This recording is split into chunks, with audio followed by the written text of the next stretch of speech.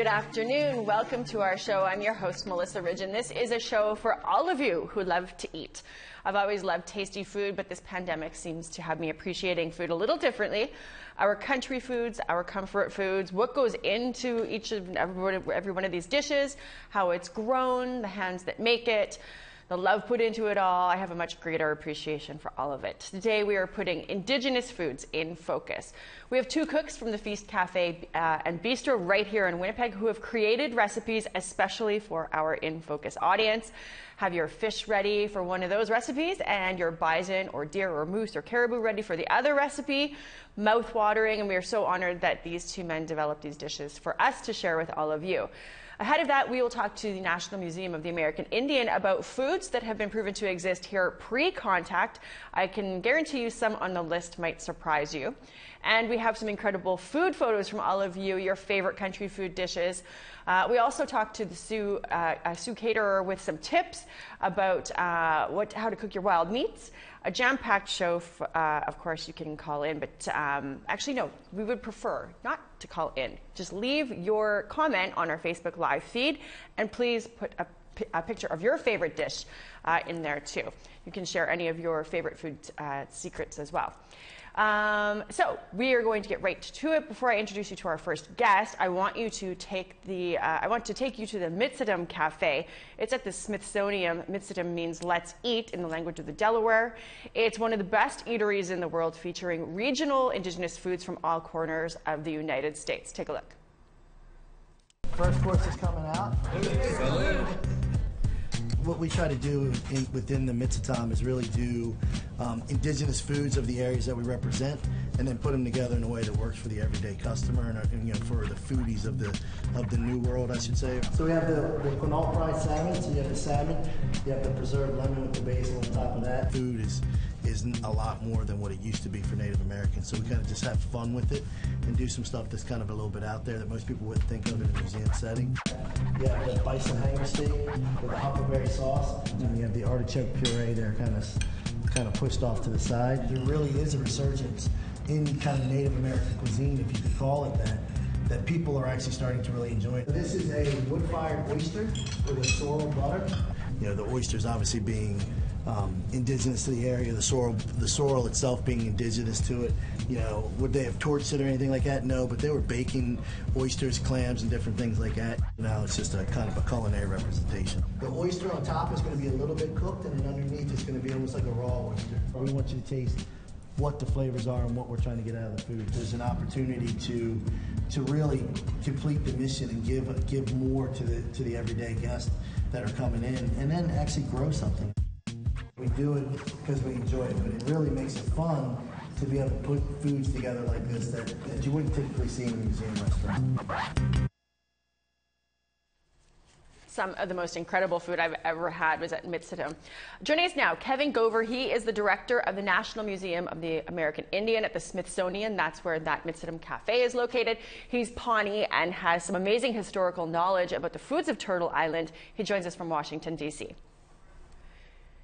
Kevin, so I loved reading in Indian Country today. Uh, you had identified a whole bunch of foods that uh, I think maybe people either assumed had been brought over from Europe or maybe perhaps that settlers had taken credit for bringing over, uh, but were in fact here for millennia. Of course, we know, uh, you know, the standard ones, wild rice, gourds, uh, you know, maize, uh, an assortment of berries, but what are some of the lesser known foods that have been here in North and South America long before settlers arrived to take credit credit for bringing them. Well, of course, in, in addition to the to the uh, the foods that that uh, have always been here, uh, uh salmon and bison and deer and, and that sort of thing. Um, but people tend not to know that if it weren't for native agriculturalists uh, of the past, that we wouldn't have things like uh, spaghetti sauce, and and we wouldn't we wouldn't get to enjoy our mashed potatoes on Thanksgiving Day. Yes. Um, yes and then there were other, you know, um, uh, indigenous crops from the Americas uh, provide now about 60% of the, of the cash crops worldwide. And so, in a very real sense, uh, native agrarians uh, uh, feed the world. And, and people, people don't realize it because we do take it for granted. Well, I love that too. You know, tomatoes, as you had said, we wouldn't have we wouldn't have spaghetti sauce if it wasn't for tomatoes. Potatoes, I think we a lot of us think, oh, that's you know must be a European thing. We think of Irish people. That's in fact not the case. There is evidence that these have been here for millennia. Correct? Yes. No, they were very deliberately grown. If you ever go uh, to uh, to South America, to Peru, to one of their open markets, you'll see dozens of varieties of potatoes, and they're still grown in in uh, much the same way that they always were you'll see people working in the fields um, and uh, as they as they plant their potato fields and their their corn fields and of course they have they had a magnificent agricultural civilization mm. uh, in the Andes where they could grow crops on mountainsides and were very specific, very scientific uh, in their work. They had uh, elaborate irrigation systems and drainage systems so to to uh, to farm on the sides of mountains, but they also were aware that uh, at each different level of, uh, of the terraces that they were building that different crops would thrive in, in those particular zones. So they were they were magnificent uh, uh, growers of crops. Mm. Uh, I found it very interesting when I had visited uh, the museum that the Mitsitam Cafe uh, it was just mind-blowingly good. It's truly a gem of Washington's food scene it's not i don't think people don't equate like oh a museum with you know culinary greatness why was uh, why was the cafe such an important part of uh, of the museum in the thought and development process of it well the the restaurant at the museum was always thought of as another exhibit mm. and an opportunity to uh, to keep teaching people even as they were eating that uh, that the foods to which they're accustomed were uh, were developed by by Native Americans, and so we do serve all of those foods, uh, including the wild ones like like wild rice. But even that, you know, it, even though it, it, seems to have evolved on its own, um, was cultivated mm-hmm. and and cared for very specifically by by the people uh, in that part of the country.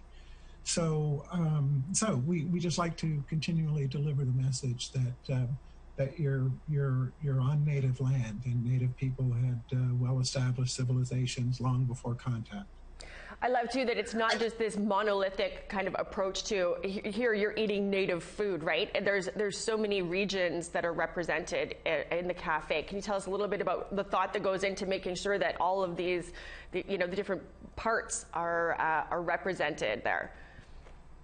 Sure, because uh, the food traditions varied in each part of the country depending on climate and the availability of different resources.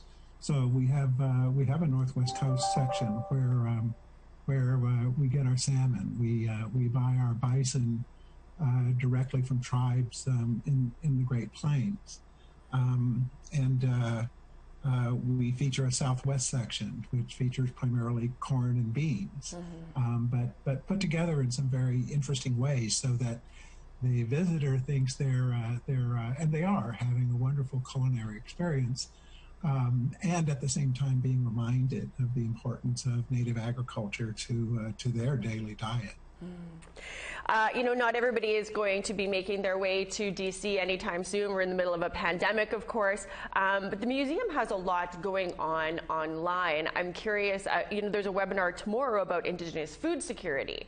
Uh, can you tell us a little bit how you guys are coping and shifting gears um, and adapting to this kind of pandemic time and, and how it's working out and how people can get involved? You know, I'm really proud of the staff of the museum because, you know, we, we were accustomed to doing things a certain way and to building exhibitions uh, in our galleries and doing programs in our theaters and in our other performance spaces. And, um, and without, uh, without too much um, hesitation or delay, we were able to convert to being primarily an online resource for, uh, for, for our guests. Um, we put a lot of educational materials online. We're doing programs online, like the one on food security tomorrow. Um, we uh, we opened a National Native American Veterans Memorial last week. We we knew it would be completed on Veterans Day. Uh, we had planned a grand celebration and bringing you know as many veterans as possible uh, to the site. That of course uh, became impossible, uh, and so we we converted it to an online event uh, and we'll continue to uh, to produce more and more content for online consumption. We're now putting new exhibitions online Uh, and so, uh, so that's you know that's that's the way it's going to be for a while. Mm-hmm. And, uh, and and in a way, we've learned an important lesson because, in many cases, um, a program that we might have done in in one of our theaters uh, would attract 200, you know, a good one, 250 people. But when we put them online, we're getting several thousand people, and we're getting people from all over the world who are who are um, coming in to uh, to seek this content. And so it's it's um, you know right now I, I feel a little foolish that I didn't realize that that uh, that would be the case. Um, but now that we know it, we're, we're going to do our best to uh, to really take advantage of that and, and spread our material uh, further and further. Well, Kevin, thank you so much for taking the time out uh, today to sit and chat with us about all the wonderful things that you guys have going on at the museum. Well, thank you very much. It's an honor to be with you. You can check out that webinar on Indigenous food security and the many other virtual exhibits offered by the National Museum of the American Indian at americanindian, all one word, dot si.edu. And for a taste of all that's served at the Mitsitam uh, Cafe, good news, they have a cookbook which happened to win Best Cookbook in the World in the local cuisine category at the Gourmand at Paris Cookbook Fair back in 2010. Cookbook is available at most bookstores online, so find it. Uh, it's called the Mitsitam Cafe cookbook. Here's the cover so you know exactly what you're looking for. It's got lots of great new fusion recipes to try, uh, and it's a great gift idea for any of the Indigenous foodies who may be on your Christmas list. Back on this side of the border, a new dining experience popped up in Winnipeg that showcased a new twist on our old food. Ishkode was a five night celebration of our foods. Here's Brittany Hobson with some of the inspiration that you can take into your own kitchen. Sizzling to perfection, this Indian taco shell is almost ready to be served. It doesn't look like fry bread. That's because it's not. But it is what would have been eaten pre contact. A pop up restaurant in Winnipeg is creating a new Indigenous culinary experience to explore this theme. Trying to restart what was lost, right? So, um, what would modern, what would Indigenous food today be? Stephen Watson is one of three Indigenous chefs creating a seven course meal for the special five night event. It's called Ishkode, meaning fire in Ojibwe. The goal? To develop a dinner only using ingredients available pre colonization, but presenting it in a modern way. This is what I feel it would be if we had 500 years of food development and culture. So that's things like Ishkode is really trying to get back into the culture of it, um, whereas I can bring the food into that, and hopefully uh, with these events like this, we can develop a bit of that food culture as well. Glenna Henderson, also known as Cookum Daisy, is known for her bannock or fry bread, but you won't see any of that here because this delicacy was actually brought over by Europeans, a fact many aren't aware of. There is a food that would be considered uh, from Turtle Island. Like there, it's not Canadiana, it's not poutine, it's not you know those things that there there were there was a society here, there was food happening, and that's the things that people need to remember. Food such as berries, bison, fish, and beans those items you will find on this menu. Ishkode is not just about the food alone, it's about the experience and what these dishes mean to Indigenous people. There's nourishment in it, there's life in it, there's you know ways to share those kinds of things and, and, and ensure that you know we uh, represent ourselves in a way that you know provi- proves how beautiful our culture and our people are. Melissa Brown is the third chef involved. Partaking in the event is a new experience in more ways than one. Brown uses her skills to help youth aging out of care. She is Ojibwe and Jamaican and brings both of these cultures into her creations. Okay, so this is my uh, jerk sweet sauce. It's made with Brown started cooking professionally only um, a few a years ago. She says the indigenous food sovereignty movement is putting traditional dishes on the map. That has been happening for like the past two, three years even and chefs are popping up all over, just you know highlighting our foods um, before colonialism, and that's definitely a movement that I'm trying to be a part of. Brittany Hobson, APTN National News, Winnipeg. Looks amazing. Uh, well, it's time for us to take a break, but when we come back, uh, get some pickerel. Uh, if you got some wild game kicking around, uh, Feast Cafe and Bistro cooks have created incredible recipes, especially for you, our audience, that will use these delicious, tasty things you might have on hand. They are going to walk us through those creations as soon as we come back, and we have some photos of your traditional foods. Stay with us. Join our conversation now. Call in toll free at 1 877 647 2786. Like us on Facebook on our APTN News page. Follow or tweet us at APTN In Focus. And send your thoughts to infocus at aptn.ca.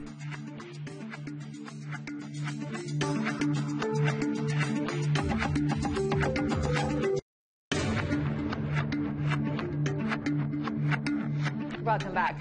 A little while ago, before we were back on lockdown and masks were mandatory everywhere, we were welcomed to the Feast Cafe and Bistro here in Winnipeg.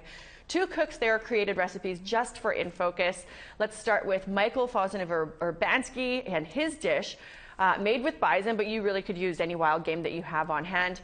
Here, watch and drool. Uh, hi there, I'm Michael. Um, I'm the catering manager from Feast Cafe, and uh, today I'm actually going to show you my recipe, my own personal recipe uh, I thought of. Uh, I'm calling it the, the Little Lost Bison. It's an infusion between our indigenous ingredients and an Italian style dish. So I'll, I'll begin. Um, first of all, we're going to start with our, what should I call it, our marinade. So the marinade I made, it's basically just a combination of oil and olive oil, and a little bit of uh, garlic puree here, a little bit of salt and pepper, and a little bit of sweetgrass and chopped up sage. It's already in there. And then uh, you take our nice indigenous style chunks of bison, and you just mix it all up.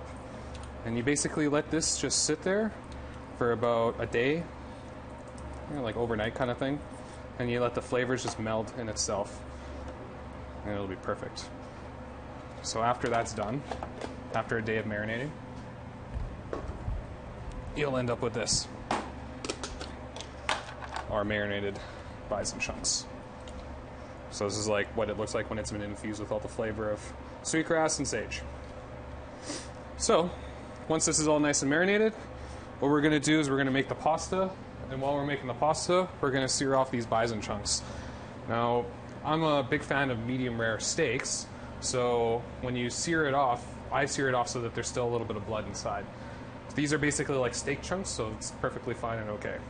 Before you start cooking anything, you want to get your water ready. Make it nice, make sure it's nice and warm, because uh, you want to start making your pasta in there. So you want to get it into a nice rolling boil. A rolling boil means is that when the water starts uh, boiling, boiling, it'll basically just you want it at a slow boil, so that way you can just it won't be overboard. You know, like when it's too hard of a boil, it'll just keep going really hard. You'll lose most of your water. So you want it to basically be at a nice calm boil, just a nice roll. Anyways, next you want to this is going to be our pan for searing our bison. So you're going to want to spray it down with either oil, like spray, oil spray, or just use regular oil. I personally prefer to use oil spray because you won't get as much of a flame coming out from it. If you use oil, use a very small amount. Otherwise, the oil from your marinade and this will cause it to shoot flames up. So you got to be careful. So I'm to give it a nice spray. Now, this marinade, I forgot to mention, actually has a little bit of lemon juice in it. Nice little lemon. You can use lemon juice like from a bottle. It's fine. You can. It's really cheap and affordable. It's also you can. It lasts a long time because you can just put it in the freezer. It basically lasts forever at that point if you don't have access to fresh lemon. Fresh lemon is a little bit more optimal. You also add a little bit of uh, maple into this, like a shot of maple just to add that little bit of flavor. The maple is to allow the beef to have a little bit extra, like sugar to the to the meat itself, while the while the citrus from the acid of the lemon actually helps break down the meat of the bison, so it's nice and tender. Let's start by heating up our pan here. So let's get that guy heated up, and while this one's heating up, we're gonna get a little bit of oil in this one, just a shot. It's perfect right there. Don't need much. Just give it a nice little spread around. Boom. Let that heat up. Don't want to get in too hot, otherwise your oil will start to burn. Now you can use you could use butter. Butter is an okay ingredient for this, but butter, as pure as it is, it'll burn if you're not careful. So I find oil's a little better. Don't use olive oil. That'll for sure burn. It has a the burn rate on. I mean, like the the, the heat level for olive oil to burn is very low, so it won't take much. So just use regular oil like canola or vegetable is fine. So, while that pan is heating up for us, this little bit here, once it's nice and warm, you can tell by putting your hand just a little bit close to it, and you can feel the heat coming from it. This one's already almost there, so let's take a little bit of garlic, little salt and pepper just for extra seasoning.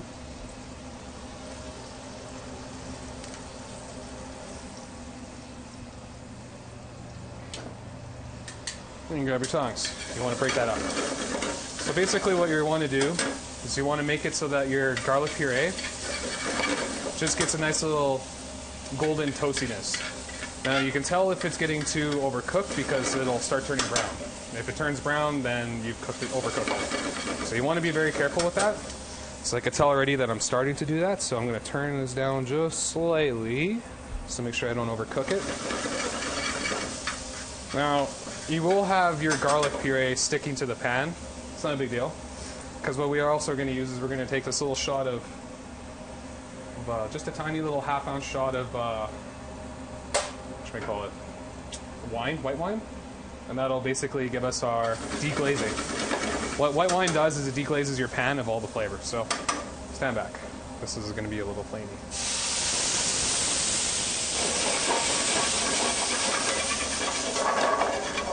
As you can tell, all of our flavor came off. Exactly what we want. So now we can add in our milk, our cream. So this is heavy cream. You want to make sure it's heavy cream because it needs to be like whipping cream. It needs to be able to form itself properly inside the pan when it cooks. Milk won't really work that well.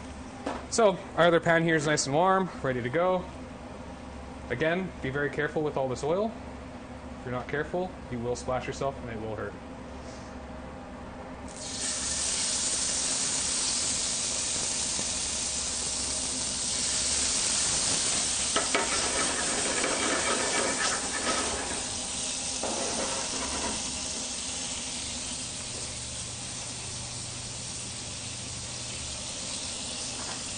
To grab another tong for this, as this will have its own flavors, and you want to keep it like that. See how it's got that nice little bit of searing on it, nice little bit of brownness? Exactly what you want.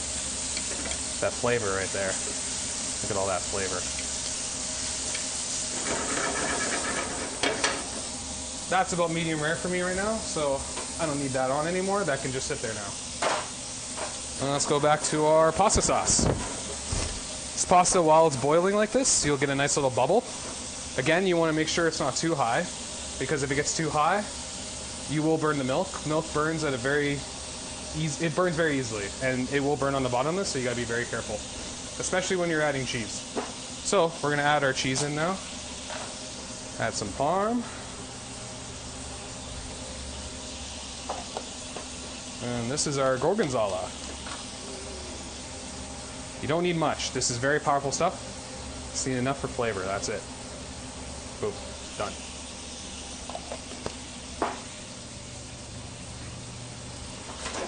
Next, we're going to mix all this up. And we're going to let it boil out. As you can see the bubbles boiling there, that means that the liquid is slowly starting to thicken and it's boiling. So you want to let it do that very slowly, otherwise you'll burn the bottom. While that's happening, we're going to get our noodles ready inside here. Get them nice and warm.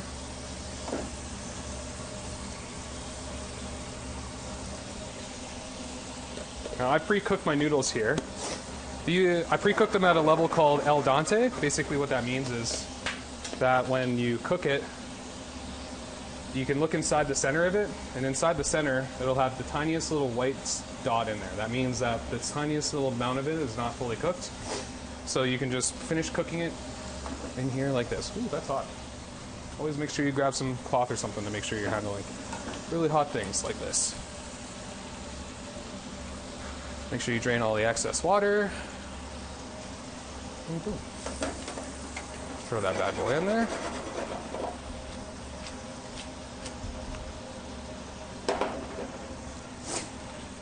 And uh, you want to let the noodles cook in with the sauce because the noodles is a starch and it will absorb all the flavor as well with everything else that's going in there. So if you notice it's getting a little too thick, you can add a little bit of cream just to thin it out a little so you have time to cook with it a bit more. It's always a good idea to test your sauce. You don't need much, you just need a little bit of test. It's perfect. All right. So next we're going to plate it. Now when you're plating pasta, you always want to give it a nice little twirl in this plate. Like that. And that way it builds up a nice and high. Get all that nice, beautiful flavor that's left over in there. Like that. Next, we're going to take our wonderful looking steak chunk, or nice bison chunks.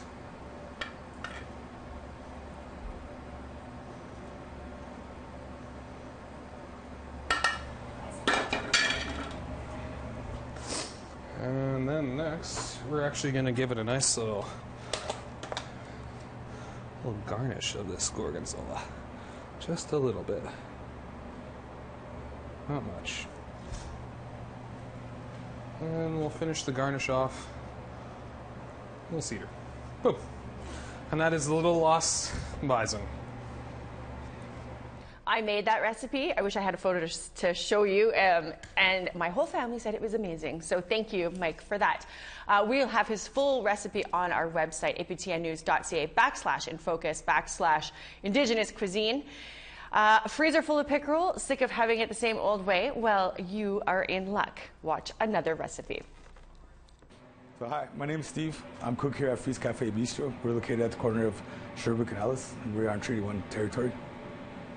So the dish I'm going to be preparing today, I'm going to call it Our Sister, and I'm going to dedicate it to uh, missing and murdered women ac- across our nation. So I'm going to be working with, with corn. That's one of the three sisters. I'm also going to be doing pickerel. That's, that's a whitefish. It's also good for you. And I'm going to be doing wild rice, so I'm going to put it together here. Um, I start with I do some very light, easy, easy seasonings. Just salt and pepper.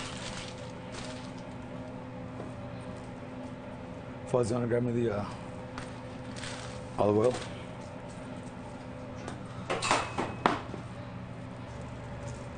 Salt and pepper.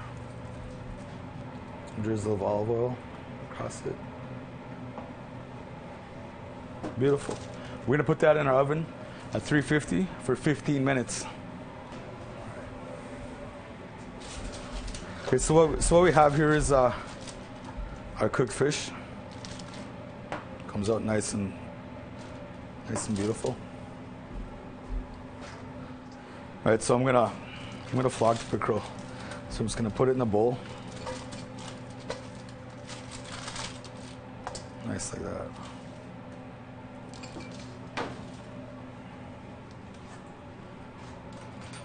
Use a fork. And just lightly break it up, break it apart. The two forks. So we're not gonna mush it, right? We don't want it to be mushed. We just want it to be nice and fluffy. So whitefish is good for you. It's like good all around. You got to should eat it once a week. It's good for your brain. It's good for your skin. Also kept our our people alive for uh, a millennia. Especially here in Manitoba, we have access to pickerel. Everybody's favorite.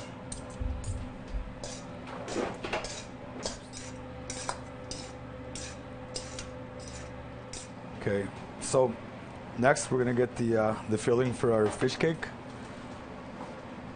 And get that ready to go here. So we're gonna go with uh, a half a tablespoon of dill. Nice big tablespoon of mayo. This is um, garlic puree. If you don't have garlic puree, just use garlic clove. You chop it up, make it nice and small. Throw that in there. Some pepper. Some salt.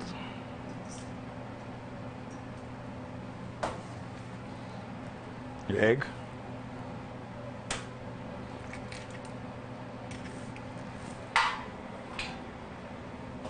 Mix that up.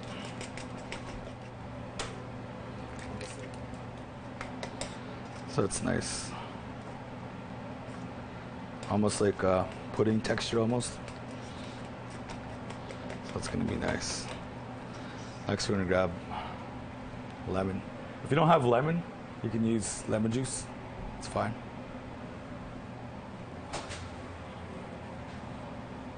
Okay. So we're gonna add our fish to our to our filling here.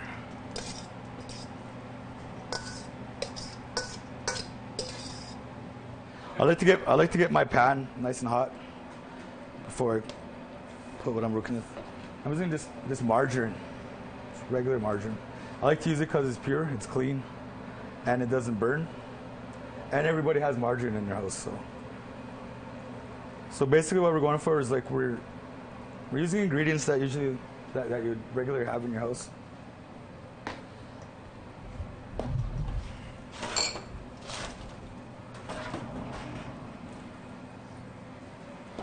The fun part. About that size. There's a little bone there. Let's roll it around in the breadcrumbs a bit. If it falls apart, it's fine. Let's put some more breadcrumbs. Form it the best you can.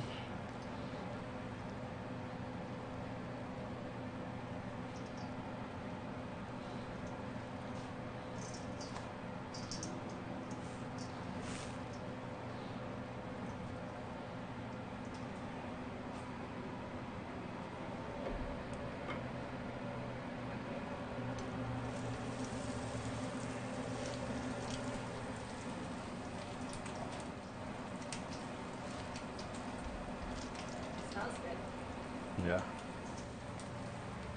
When we're cooking the rice, you just put put a lot of water.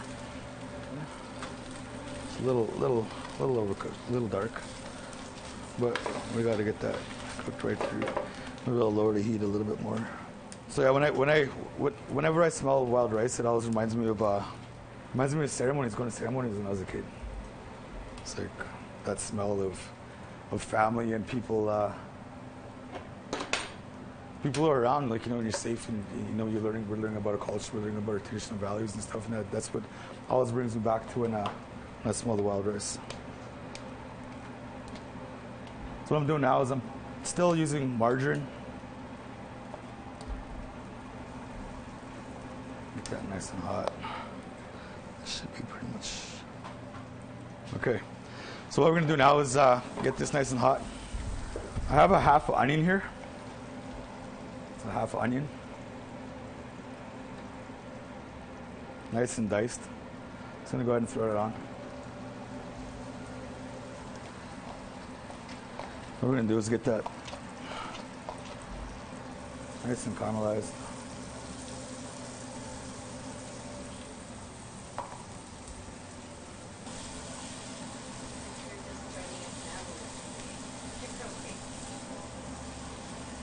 Little bit more garlic puree, just to. It's gonna be. A, if you don't have, if you don't have the garlic puree, you can go ahead and use like a, a whole garlic, mince it up, get it nice and chopped up, nice and mincy. A little bit much.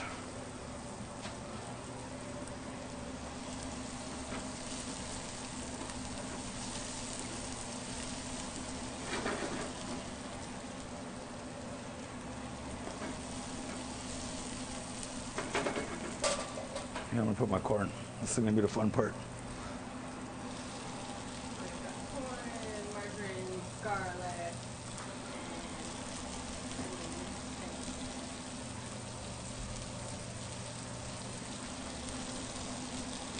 So we're really gonna be cooking. So it's gonna start popping. As soon as it gets, as soon as it gets to the right temperature, it's gonna pop a bit.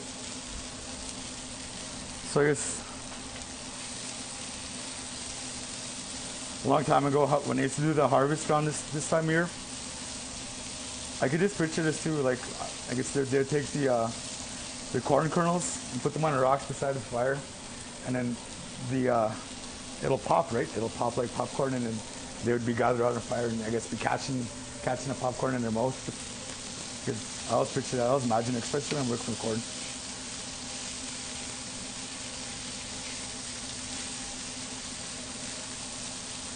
So again, this dish is called Our Sister. We're using the corn, pickerel,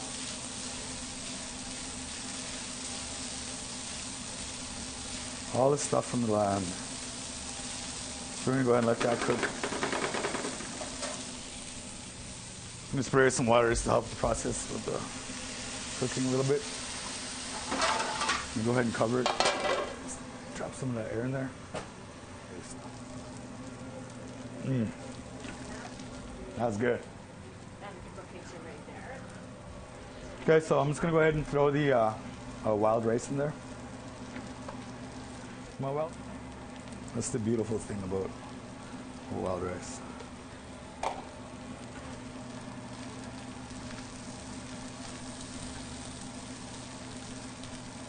Mm-mm-mm.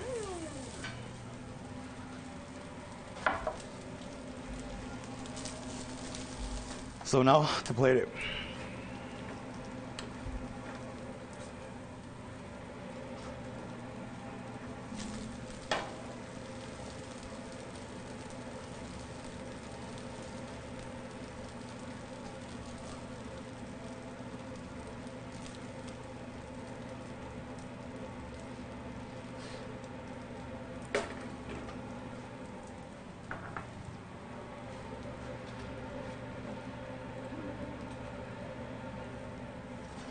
Oops.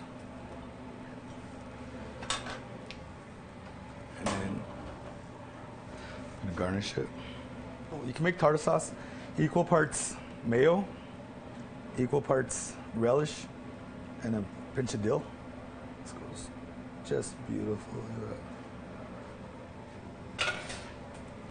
And then we're gonna garnish it with some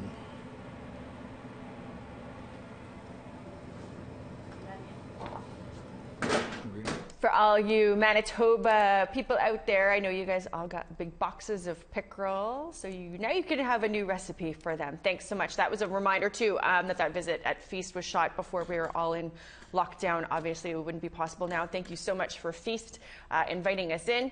You can get those full recipes at our webpage, aptnnews.ca backslash infocus backslash indigenous cuisine. They are super easy to do. I've done both of those recipes. They are incredible. No fail. Uh, time for another break. Oh, I wanted to say too, to their shout out to our Facebook Live folks. We see you fiddlehead lovers out there, and we recognize you. Uh, Muktuk and Tuktu when we come back for you.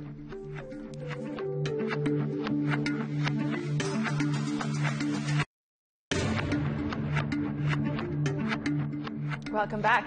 Let's go to social media now with our social media editor, Jesti Andrushko, who is joining us from home today to hear what some of you guys are saying and to see some amazing food pics.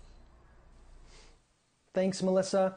We went online looking for what First Nations, Inuit, and Metis people are harvesting. We wanted to know what your favorite food in the land was, and also we found some enticing dishes. A first from Roy, he posted some muktuk and tuktu soup with cornbread. Muktuk and tuktu are both Inuktitut for whale and caribou. Looks good. Next from Pauline, she shared her oven cooked bannock and caribou. Delicious. Nice stuff, Pauline. Next, we have Verna. She sent us a picture of her bullet soup and bannock. Bullet soup is a Red River Métis staple. It contained buffalo in the past, but now typically either has beef or pork. Looks very good. And lastly, from Harry, he shared his meal of young beluga muktuk and bowhead muktuk, along with dried pink salmon. Also, some dried ugruk meat, which means seal. Really, really good. Good stuff. Thank you to everyone who shared their awesome looking meals. If you want to share your meal or just share your thoughts with us, here's how.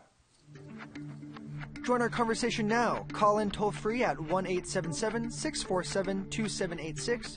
Like us on Facebook on our APTN News page. Follow or tweet us at APTN In Focus. And send your thoughts to infocus at aptn.ca. Thanks to you all for those food photos of your favorite foods, your country foods, your comfort foods. Chef Dicky Uzichipi knows his food. He is the owner and chef at Sous Chef Catering in Regina, Saskatchewan. He's the go-to guy if you have an event that needs Indigenous food. Let's take a look at some of his creations. Dicky from Sous Chef Catering, thank you for taking time out of your day to talk with us about food, something I think pretty much all of us love. Um, how's the catering business going through COVID? Uh, not that great. Uh, basically, my yeah. last catering event was in February, so uh, kind of been a long wait before doing some stuff for Christmas. Yeah. Um, lots of cooking at home for your family. Oh yeah, yeah, doing all kinds of cooking. Uh, basically, as soon as COVID hit, I went back to basics, making pasta from scratch and everything. So went right back to the start of all cooking. Yeah.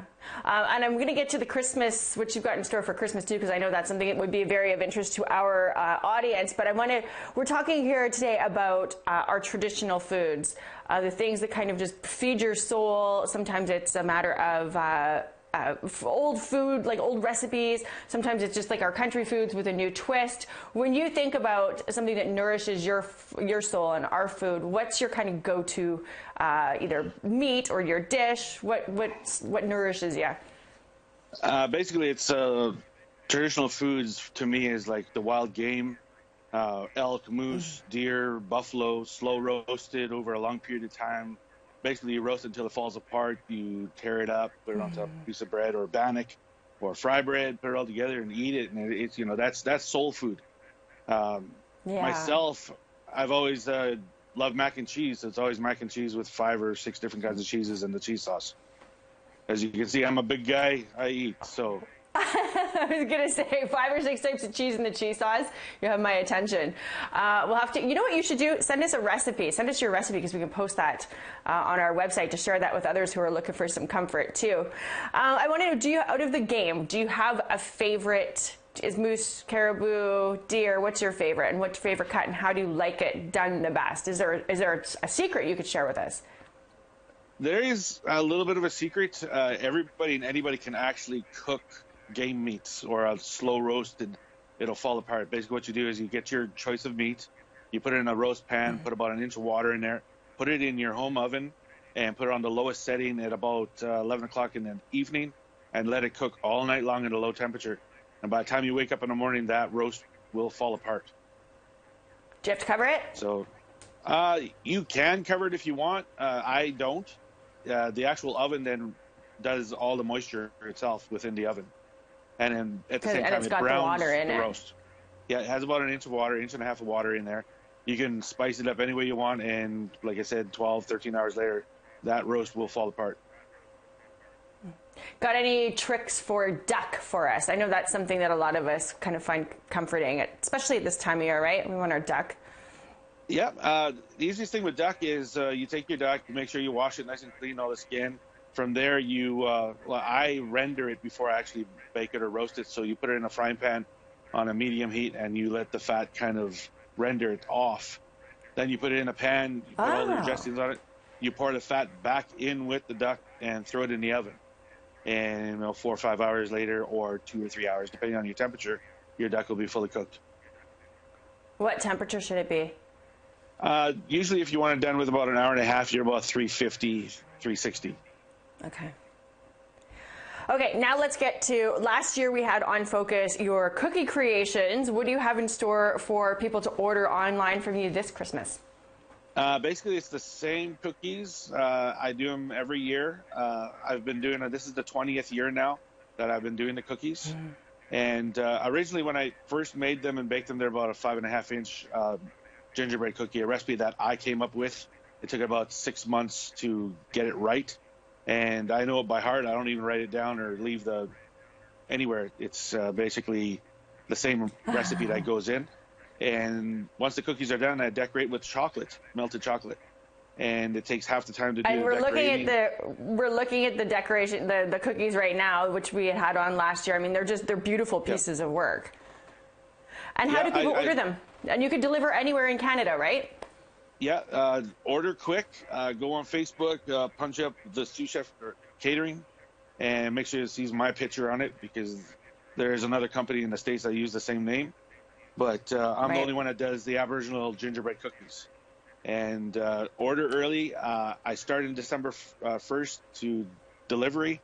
And uh, like I said, if you want them mailed out to you, get me as soon as you can for your order. Well, thank you for sharing that with our audience, and hopefully you get some uh, more gingerbread business drummed up here. And thanks for sharing your favorite food tips uh, with us. Yeah, not a problem. Thank you. We got to show you some of the pictures of uh, his food. Here is a breakfast hash that he makes, which just makes your mouth water. Uh, here's a duck dish. Incredible. And check out what he can do with squash. Ta-da! And there's some berries in there too.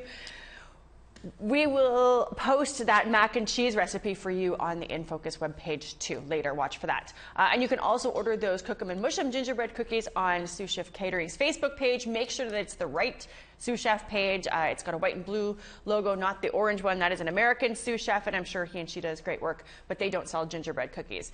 Okay, we're going to the phone now. We have Jody Pumlik, who is on the line with us from Arviat, Nunavut.